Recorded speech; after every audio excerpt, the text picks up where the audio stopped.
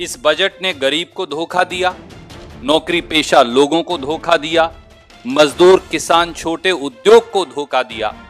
सार्वजनिक क्षेत्र के दो बैंकों को बेचा जाएगा। कौन से बैंक होंगे? हर बैंक वाला गेस कर रहा है। दिल्ली मुंबई इंडस्ट्रियल कॉरिडोर में 2548 गाँवों की जमीनों को लिया गया है। देश की जीडीपी का विकास वी शेप जैसा होगा। इस तरीके से होगा देखिए ऐसा। और आप चाहें तो इसे विकास की विक्ट्री भी कह सकते हैं। आज का बजट भारत के आत्मविश्वास को उजागर करने वाला है। एक फरवरी को देश का आम बजट पेश किया गया। इस आम बजट में वित्त मंत्री निर्मला सीतारमन ने कोरोना टीका से लेकर सैनिक स्कूलों के खोले जाने तक का ऐलान किया मगर मिडिल क्लास को इस बजट से कुछ खास नहीं मिला। टैक्स पेयर्स को उम्मीद थी कि टैक्स सुधार की दिशा में सरकार कुछ कदम उठाएगी और टैक्स स्लैब में बदलाव होगा। पर ऐसा नहीं हुआ। हालाँकि सरकार ने 75 साल से अधिक उम्र के लोगों को ये छूट दे दी कि अब उन्हें इनकम टैक्स नहीं भरना होगा। बजट के ठीक बाद प्रधानमंत्री मोदी ने देश को संबोधन किया। उन्होंने कहा कि ये बजट ने भारत के आत्मविश्वास को उजागर करने वाला बजट है। वर्ष 2021 का बजट असाधारण परिस्थितियों के बीच पेश किया गया है। इसमें यथार्थ का एहसास भी और विकास का विश्वास भी है।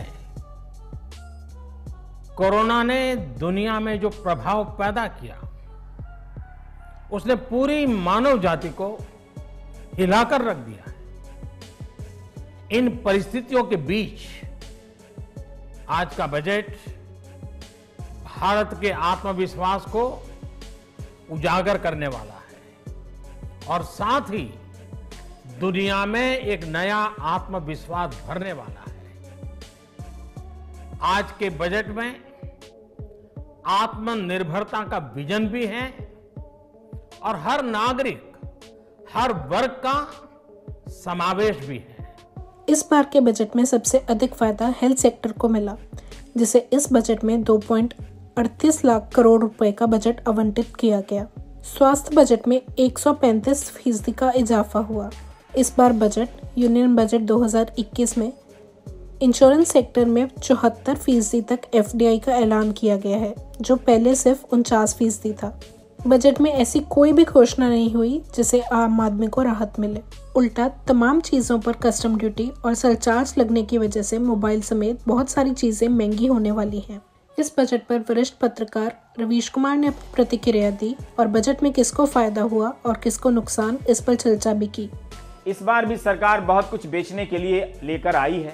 अब आते हैं उन चीज़ों पर जो पूरी तरह बिक जाएँगी, या आधी बिकेंगी या थोड़ी थोड़ी बिक जाएँगी। इनका औपचारिक नाम है एसेट मोनेटाइजेशन प्रोग्राम। सार्वजनिक क्षेत्र के दो बैंकों को बेचा जाएगा। कौन से बैंक होंगे? हर बैंक वाला गेस कर रहा है। भारतीय जीवन बीमा निगम में सरकार अपनी हिस्सेदारी बेच देगी, इसके लिए आईपीओ लाएगी। GAIL, Indian oil corporation, HPCL की पाइपलाइन को मोनेटाइज किया जाएगा। इसे भी समझें, बेचा जाएगा। टायर टू, टायर थ्री शहरों के हवाई अड्डे बेच दिए जाएँगे। सेंट्रल वेयर हाउसिंग कॉरपोरेशन के वेयर हाउस की भी हिस्सेदारी बेच दी जाएगी। National highway authority of India के पाँच हाईवे को प्राइवेट सेक्टर के हवाले किया जाएगा। पिछले बजट में सरकार ने 2024 तक एनएचएआई की 6000 किलोमीटर की लंबाई के 12 नेशनल हाईवे को मोनेटाइज करने की बात कही थी। खेल के स्टेडियम भी बेचे जाएँगे। क्या खेल के स्टेडियम तक का निजीकरण होगा? बजट को लेकर विपक्ष की ओर से प्रतिक्रिया आनी शुरू हो चुकी है। कांग्रेस पार्टी के नेता राहुल गांधी ने ट्वीट कर बजट को लेकर तंज कसा। उन्होंने लिखा, गरीबों के हाथों में नकदी देने की बात तो भूल ही जाइए। मोदी सरकार भारत की संपत्ति को अपने पूंजीपति दोस्तों को हैंडओवर करने की तैयारी कर रही है। इस बजट ने गरीब को धोखा दिया, नौकरी पेशा लोगों को धोखा दिया, मजदूर किसान छोटे उद्योग को धोखा दिया और उन सांसदों को भी धोखा दिया। जो वित्त मंत्री के बजटीय भाषण को सुन रहे थे। जो चीज़ें देश की सुरक्षा और अस्मिता के लिए आवश्यक आवश्यक थी, उनकी चर्चा तक वित्त मंत्री ने नहीं की। तृणमूल कांग्रेस के सांसद डेरेक ओब्रायन ने कहा कि भारत का पहला कागज़ रहित बजट शत प्रतिशत विजन रहित भी है। इस फर्जी बजट का विषय भारत को बेचना है। ममता बनर्जी ने कहा कि यह जन विरोधी बजट है। भारत के पहले पेपरलेस बजट में लगभग हर क्षेत्र को बेच दिया गया। इसमें असंगठित क्षेत्र के लिए कुछ नहीं है। उन्होंने कहा कि भाजपा सिर्फ़ राष्ट्रवाद की बात करती है, लेकिन हकीकत में वो ऐसे हैं जो राष्ट्र के संसाधनों को, निजी कंपनियों को बेच रहे हैं। दिल्ली के सीएम केजरीवाल ने ट्वीट करते हुए लिखा, ये बजट चंद बड़ी कंपनियों को फ़ायदा पहुँचाने वाला बजट है। ये बजट महँगाई के साथ साथ आम जनमानस की समस्याएँ बढ़ाने का भी काम करेगा। इस बजट पर कई सीनियर पत्रकारों ने भी बात की। वरिष्ठ पत्रकार पुण्य प्रसून वाजपेयी ने भी बजट को लेकर अपने वीडियो में बात की और कुछ अहम जानकारी दी। कि इस बजट का मतलब यह है कि किसानों की स्थिति धीरे धीरे और विकट होने वाली। है इस विकट का मतलब यह है कि इस बात को पहले समझिए, हम इस बात पर आए, इस बजट में क्या है? दिल्ली मुंबई इंडस्ट्रियल कैरिडोर में 2548 गाँवों की जमीनों को लिया गया है। बहुत लिया जा चुका है, कुछ का मुआवजा बकाया दिया गया है, कुछ को मुआवजा भी दे दिया गया है, कुछ पर भी कंस्ट्रक्शन वर्क अभी पूरी तरह शुरू नहीं हुआ है। टारगेट था 2021 में पूरा हो जाएगा, यानी इस बजट में ऐलान हो जाना चाहिए था कि हाँ दिल्ली मुंबई इंडस्ट्रियल कैरिडोर शुरू हो गया, जो नहीं हुआ है।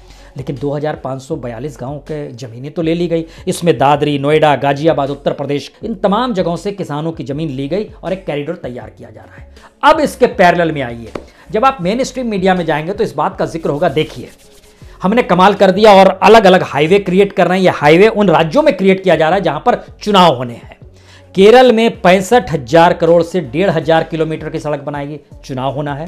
बजट को लेकर गोदी मीडिया की प्रतिक्रिया क्या है, ये भी जान लेते हैं। क्योंकि तो मोदी सरकार कह रही है कि ये आत्मनिर्भर भारत को कोई नई ताकत और नई ऊर्जा देने वाला बजट है। तो विपक्ष का कहना है कि मोदी सरकार ने किसानों और मजदूरों और आम आदमी को पूरी तरह से इग्नोर किया है और एक बार फिर ये सूट बूट और पूंजीपतियों वाला बजट है। तो आज बजट पर होगा सबसे बड़ा संवाद।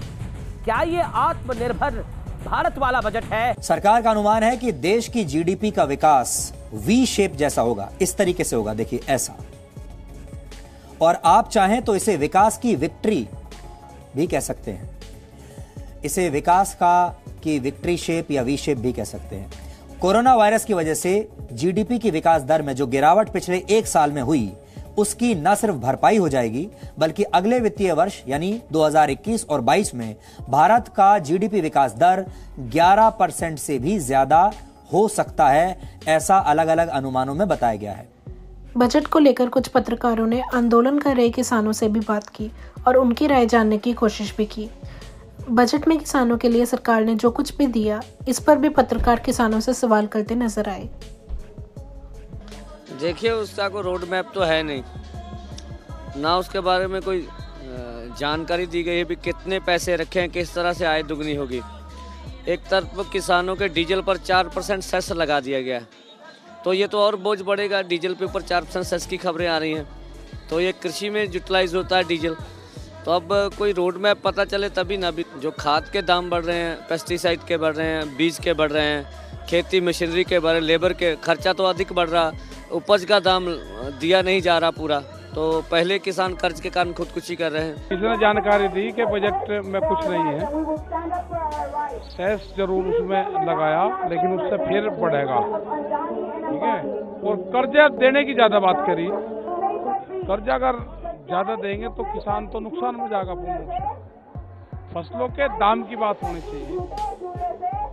बिजली फ्री की बात होनी चाहिए उस पर कितना हुआ है जो सारी चीज़ें हैं तो उसमें है नहीं कुछ अब देश को कोरोना के बाद अपना पहला बजट मिल चुका है और इस पर राजनीति भी खूब जारी है। अब आगे देखना ये होगा कि किसको इस बजट से फ़ायदा होगा और किसको नुकसान। Punjab today report.